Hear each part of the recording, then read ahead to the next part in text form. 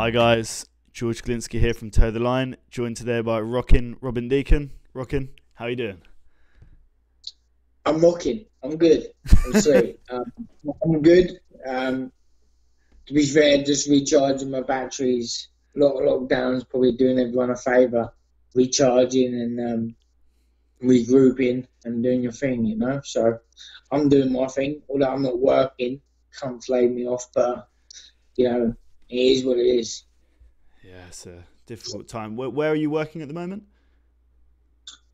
I'm working at. Um, I was I was working at a place really enjoyed it in Capital Seafoods in um, London, Fulham, the fishmonger place. Um, but I left there because the travelling was a lot. I, I'm going to go back there. But I love people, great people. They come to my fights.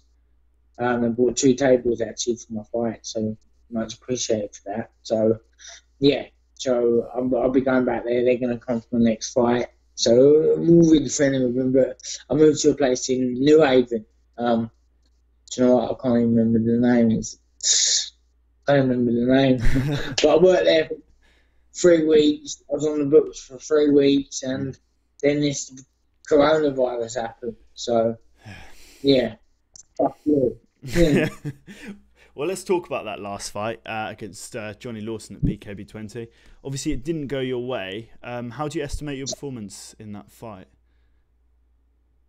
The fights ever go my way, mate. I'm like a bad, I'm a fucking omen, you know. Is that the right one? Yeah. Omen? A bad omen, yeah.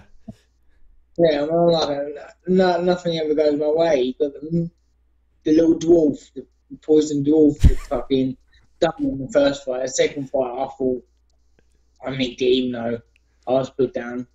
He didn't really, you know.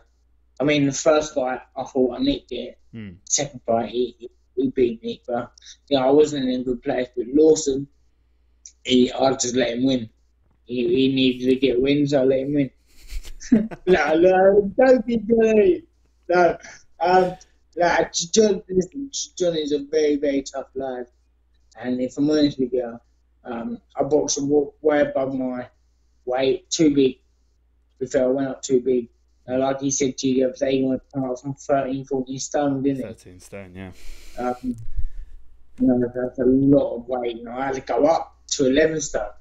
Uh, although I'm only, I'm only walking away nat- walking around naturally about 11, 11 and a half. Hmm. I still, when training, you still have to sort of put on the weight because you lose a lot when you're training.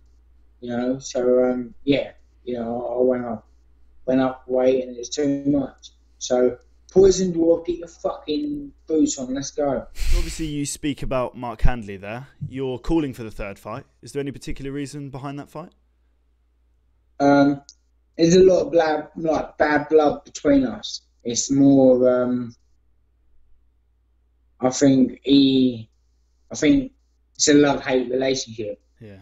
You know, I hate him, he loves me. So he, you know, this I got no problem with Mark. Mark's a nice guy. Um, but I think the fight needs to happen because there is a lot of tension between us. Um, yeah, and you know, I think uh, I was in a bad, bad place before. I mean, I was uh, I was homeless. I had nowhere to live, um, so I was waiting for the house to go, to go through. And uh, yeah, I was just in a bad place. My mind wasn't right. Obviously, um, even with the Macintosh fight, Macintosh and both the Hanley fights, Mm. I was still really depressed over the split with my ex girlfriend at the time. Um, see, I suffer with um, breakups real bad. Like they get to me. Like if I really like someone, it's, I'm a bit like most people, really, if, they, if they're honest. When when I like someone, it, it gets to me a lot, and uh, yeah, it got to me a lot. And I wasn't in the right frame of mind. So really, in, in all fairness, I was um, using bare knuckle of, um, as a way of me self harming Yeah. um, because I was so depressed.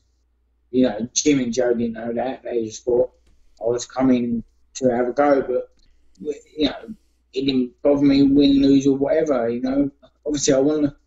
I have the wor- the worst record in history in boxing, so I don't want to go into another sport and have the worst uh, hi- worst record in history. Mm. I want to go down and actually do something. So this this year I've got about a year and a half left of my contract. Yeah. Um. So even though I say to people it's my last fight, if I lost Mark Hanley again, I'll be done. Hmm. I'll be done with big heavy because if I can't beat Mark Hanley, I can't beat no one. Do you know I mean? Yeah. Um, Mark, Hanley ain't the best fighter, and neither am I. Now, if I can't beat if I can't beat someone who ain't that great, then I ain't going to beat someone who's good. I ain't going to beat someone that's okay. So I've got a year, a year and a half left in my contract. If I beat Mark Hanley, if fuck me, if when I beat Mark Hanley, um, I'll finish off my contract. So after Mark Hanley, I want Brad Pickett Yeah. to prove that Mark Hanley is a weapon, and he he literally he froze at the occasion because of who Brad Pickett was. Listen, I've been I've been in with bigger people than Brad Pickett. I've been in with Anthony Crolla, Stephen Smith, Patrick Hyland, um, Josh Wale, Ryan Walsh. Do you know I mean? Been in with all, all the best, and I've never froze the occasion. In actual fact, when I fight someone a lot better than me, and uh, oh, excuse me, and has like a bit of a name, Hmm. um, it gets me going for the fight. You know, you see, got the, the other. I can't remember his name. Jamie Oldfield, the oddball. Yeah. You know, we got him calling me out, but as a fight, I could not get up to because he's just like a fucking. He stalks my Instagram and he's pestering me on Facebook and saying, "Oh, Jim and Joe ain't said nothing to me about the fight." I said, "Because there's no fighting happening, dickhead." I said. "No one's doing nothing. No one's doing nothing because it's coronavirus. It's you know promoting and um, promoting. Listen, Jim and Joe promote fights, right? Even though they promote me, I promote myself a, a lot more because I have to, yeah. Um, because I'm self-proclaimed Britain's worst boxer, so I have to. Because that's what I've ever done. Promote myself. Whether Jim and Joe want to do it, that's fine. But I promote myself and I promote myself well to get recognition from the press and famous people. Do you know what I mean? Even though I'm infamous myself, but it's you know what I mean. It's nice to get the recognition from people that that you sort of looked up to at school. People like Michael Jennings, um, Frankie Gavin, uh, Jamie Cox, yeah, Peter McDonagh. People that you sort of looked up to and inspired you to continue to fight as a kid. They they they give you you know they give you some attention, you know, and they talk about you because, you know, I'm making an impression on people, you know. So uh, Jamie Old Oddball is just, is too much, man. He's just on the case. So Mark Hanley's one I want. Mark Hanley's one I want to drop and I want to hurt, not hurt physically, but well, yeah, physically, but do you know I mean in the boxing ring and be be friends after because there is bad blood between me and him, and I can tell you now, one million percent, he will not beat me because before I was literally just going in the boxing ring at night time um, for training and just doing pads, looking good, and showing Jim and Joe that I was doing doing it. Do you know I mean? Um, really, I, I might have been doing it, but I wasn't doing it up there. Do you know I mean? I wasn't running, wasn't this, I wasn't that you know, I'll get, uh, I'm running now. I'm doing, I'm, I've got good trainers at Aaron Baumer, Robbie Wilson, and I'm hoping Dale Setterfield will uh, be coming in me as well. And yeah, you know, I've, I've got good people around me. I believe Mark won't beat me. Next time round, I'll end up, I'll stop Mark within one or two rounds. 100%. He won't even go points.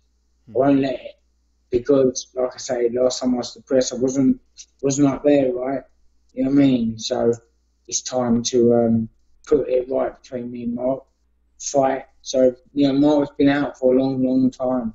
I haven't won for a long, long time. So it's on paper, it's an easier fight for him to have me to try and, even though he beat me, he beat me the um, he beat the Robin Deakin. It wasn't right but he won't beat the Robin Deakin right, you know what I mean?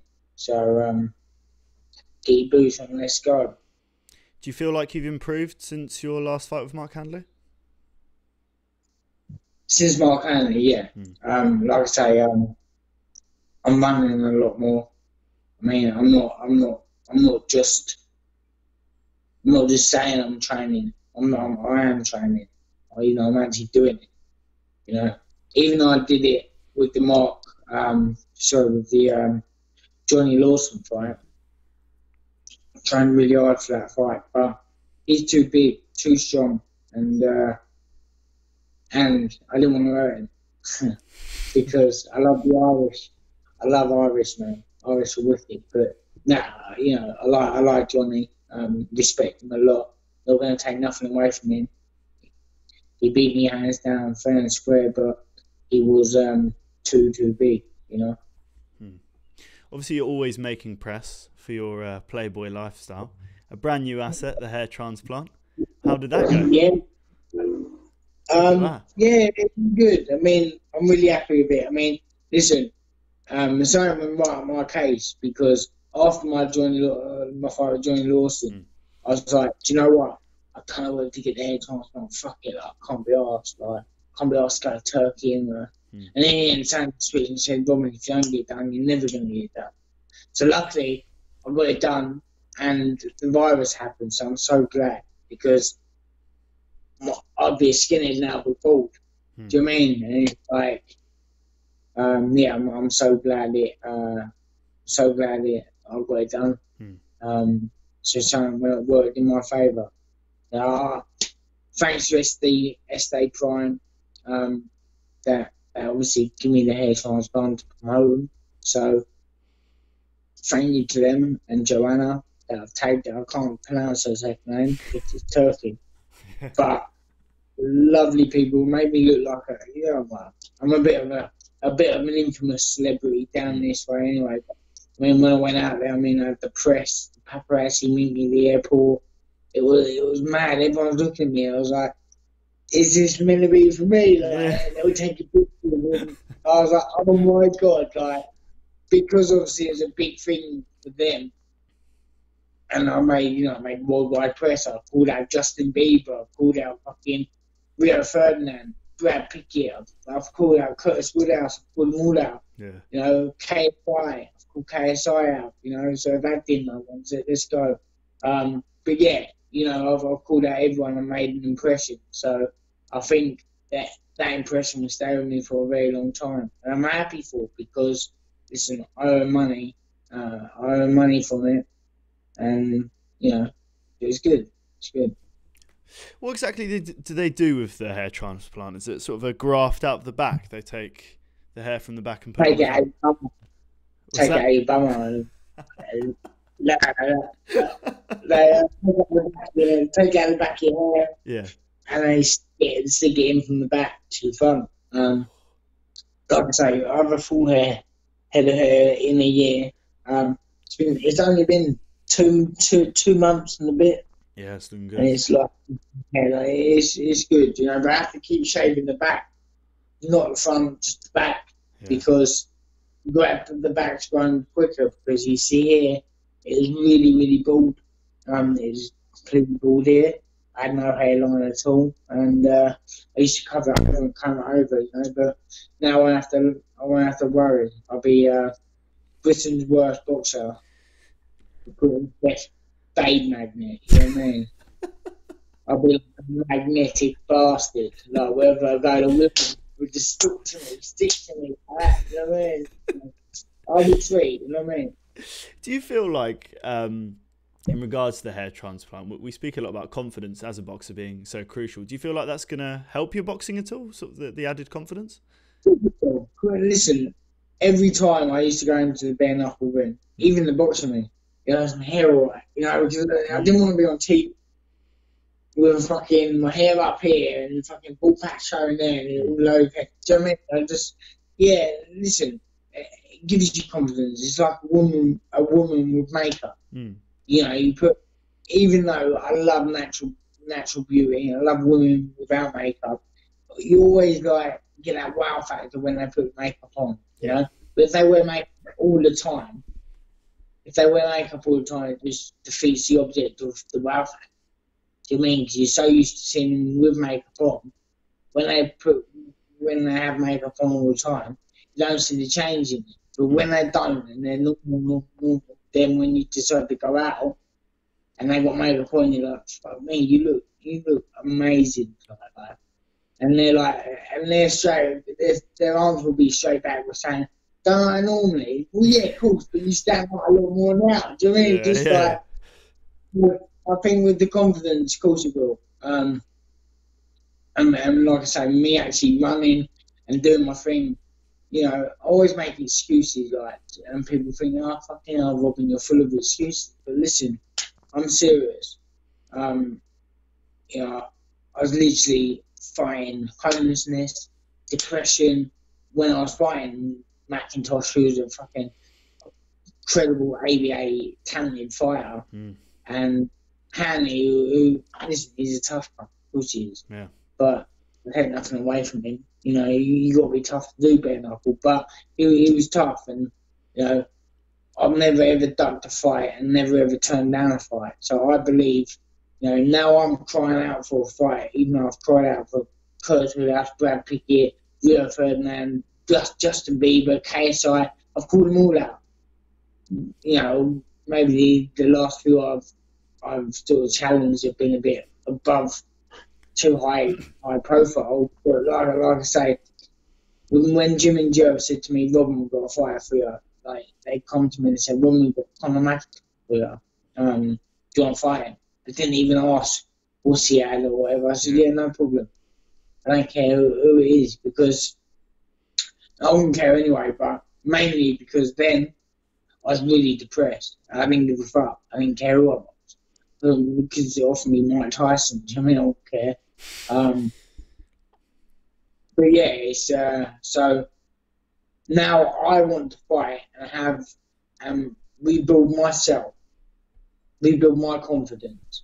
So let me go back from the people that I lost to. Yeah, obviously Connor's gone pro now, so um, that's understandable. I have Connor. Uh, to be fair, I, I get on really well with Connor's mum and, family and, and whatever, and Connor. So um, I wouldn't fight Connor anyway, but at least let me have Hanley. Um, at least let me have uh, Mark Hanley, the poison dwarf. Let me have him and come back on my losses. And, you know, forget Lawson because he's too big. Hmm. You know, as, as a city fight, I, shouldn't really, I should not have even asked for that fight. No. But it was offered to me. And like I say, I don't, I'm not going to say no. You know, Jim and Joe put a lot of work in what they do. And when I know what it's like, because Ross Minter owns the Queensbury Boxing League. And when people say no to a fight, it fucking messes with everyone's head and it just makes more work for everyone. So Yeah. if every fighter turned around and said yes, yes, yes, yes, even in the program, it'd be a lot more easier. Yeah. Don't bottle your fucking, don't bottle it and fight. I mean, you're there to fight, you're not there to fucking look good and um, have a perfect record. Do you mean? You're there to fight. If you're a man and you're good enough, you're gonna win. And you believe in your ability, you're gonna win. I believe in my ability, even if I'm fucking, even if I'm Britain's worst boxer. I believe in my ability anyway. Um, you know, if you said to me, right, you, you're fighting Jimmy Sweeney tomorrow, I'd be like, sweet, no problem. Yeah. I, wouldn't, I wouldn't say no because it's he's a legend. I wouldn't say no at all. Um, because I, I believe I'll beat anyone, even though I wouldn't. I believe I could. In Hmm. my head, when a fight's offered to me, I never have any doubts in my head apart from, yeah, fuck it, I never turn down a fight. I'm Robin Deakin. I, I don't do that. So in my head, I'm like, yeah, sweet, uh, let's fight. Um, but yeah, um, you know, fight, say yes to, are very, um, are very silly at times because anyone knows a fighter don't ever say no. So if the people think it's a silly fight, don't offer me it because you're just going to get a yes. You're not going to get a no. Yeah, exactly. Obviously, it's a very commendable quality that you have fighting anyone, anywhere, anytime. But how much does it mean to you to have this second chance with uh, BKB and Jim and Joe? Ah, listen, Jim and Joe have been Jim and Joe have been amazing to me. To be fair, listen, they could have fucked me off after the McIntosh, after the first Hanley fight, or even after the second Hanley fight. Mm. They gave me another chance with Lawson, but they they they knew deep down Lawson was too big, and I knew deep down Lawson was too big, but he didn't have a win, so I didn't have a win. So I thought it's a risk. We all take risks, and I tend to take them a little bit further than most. But I'm not going to say no. So listen, Jim and Joe have been fantastic, and I couldn't thank them enough. You know what I mean? So you know, I'm trying to boost them, even though they boost themselves like more anyway. But I mean, every time we make press, I always give them a massive mention because they they do a lot of hard work and especially give me another chance and hopefully give me the, the fight I want rather than them offering me a fight. Let me offer them a fight and say, listen, this makes money, it makes press, and it gets people talking again. It's the first fight. Um, drew one, I, I lost one, and uh, let's have it again. You know what I mean? And, uh, and we proved that it was a bad time for me, and you know the poison dwarf will be going to sleep within two rounds. And that, it's not it's not talking. That's a promise. Hmm. Or so much to um, you know. I've got a year and a half left of my contract. A year, just just over a year of my my contract. I need to make an impression because I don't want to be known as a joke in boxing and a joke in bare knuckle. Hmm. I'm a fighter and I was born to fight and find what I do. So it's my time to prove myself. And Mark Hanley needs to come back from his loss after 10 seconds with the legend Brad Pickett. Hmm. Fight, fight me, and I'll give you 20 seconds. I'll put you to sleep. No, it makes a lot of sense. A big redemption fight, and uh, yeah, definitely one I'd like to see. But let's talk about your good friend Tyler Goodjohn. Obviously, he's partaking in arguably the biggest fight of his entire career, boxing and bare knuckle, uh, against the great Jimmy Sweeney. What's your prediction for that fight? I love Jimmy Sweeney. Jimmy Sweeney is always like, he's always giving me the, the you know, he, he, respects fighters, and I think he respects me a little bit more because I've overcome adversity and overcome things. That is the right word, adversity. Yeah. yeah, I've overcome all that, and uh, I think he respects the fact that I haven't said no to anything. So I respect Jimmy Sweeney. I love Jimmy Sweeney and Ollie Morris, lovely people. Hmm. Um, I just believe uh, Tyler Goodjohn is uh, is stands Shut the game, mate. Yeah, didn't know. Um, yeah, I just believe Tyler Goodjohn will be too strong, and well, yeah, Jimmy Jimmy's Sweeney will be throwing all these shots at him, and I, I think Tyler is just like he's suck all up and just be like, yeah, take it to him, and it'll break Jimmy's heart by by Tyler taking it all and um, just coming back at him. But will that fight happen? Is that fight happening? You know, it's a great question. We don't. Know. This, we never know. No, I mean, never know. So. And the Tyler, the Tyler's uh, pornographic lifestyle at the minute. Um, as he got as as he got it in him to come back and do it. You know, that's what I'm saying. I love Tyler, and I really hope he does the business, and I think he will. But we will see. Hmm. I think that's a like you've just said there. That fight will come down a lot to mentality, and it will come down to how much Tyler wants it, and that's what is so exciting about that fight. So obviously you've got a lot of people to thank for your journey so far. Who have we got to thank? Um, Paul Brown at uh, We Sell Ball. Mm-hmm. Um, he helped me a lot and always buys tickets off me and you know, always supports me really. So uh, thanks to Paul. Uh, we've got Banstead Kitchens. Um, good place for kitchens, obviously. um, he's very, well known, very well known in um, in uh, Banstead and around the area. Chris Larkin, his name. Mm-hmm. And we've got top to bottom driveways and patios, and that's my good friend Fletcher. And you know, he, he he's helped me out come to uh, come to my fights. You know, from uh, from my area, come to my fights, and You know, he shows his support on social media. You know, and that's all. That's all, that's that's everyone on social media really as well because you see all the likes and the shares that I get. Mm. That gives me the opportunity to get the stuff that I get, the sponsorships, the hair transplants. Do you know what I mean? It's sort of like it helps me in in everything. You know, people think one like doesn't mean nothing. Mm. Well, to people that are infamous like me and they're out there in the press, it means a lot because every like, every attention gets out there. You know, to be fair, the social media is probably the biggest platform. It's bigger than the national media, if I'm honest. Mm. Um, to get out there, it's worldwide, isn't it? You know, social media is worldwide, and that's how Jim and Joe have done a great job with BKB. Definitely, definitely. Well, very well said, Robin, and uh, thank you for your time, my friend. Fuck you. See you later, guys. Where are you?